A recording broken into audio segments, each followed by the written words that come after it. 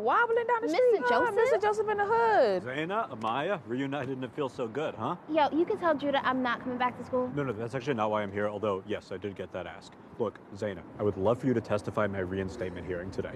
You going to jail? Shut up. No, I'm not going to jail. No, I'm trying to teach again. The opposite of jail. Oh. Look, I'm really sorry to be asking you this, but I need student testimony. And I know last year was a mess, but I always really tried to help you out. Amaya, we never really clicked like that.